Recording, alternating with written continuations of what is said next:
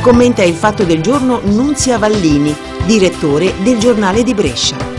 Oggi ricordiamo una chiamata alle urne importante, quella del referendum abrogativo sulla legge sull'aborto.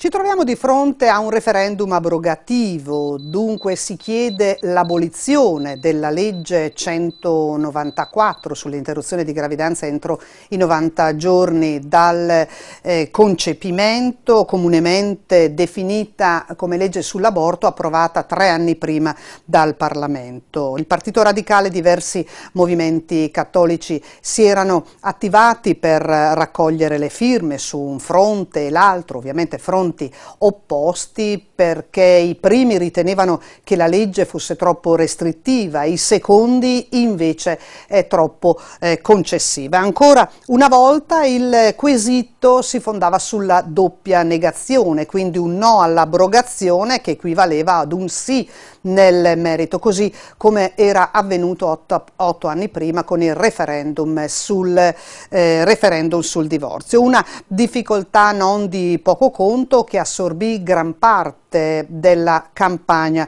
referendaria. Il Paese e la politica si mostrarono estremamente distanti nel loro eh, sentire. La DC, che era primo partito e partito di riferimento della Chiesa Cattolica, eh, si preparava alla seconda sonora sconfitta. Il referendum si concluse con un 68% dei no, dunque a favore della legge sull'aborto e fu chiaro che eh, per il no si eh, espressero moltissimi cattolici.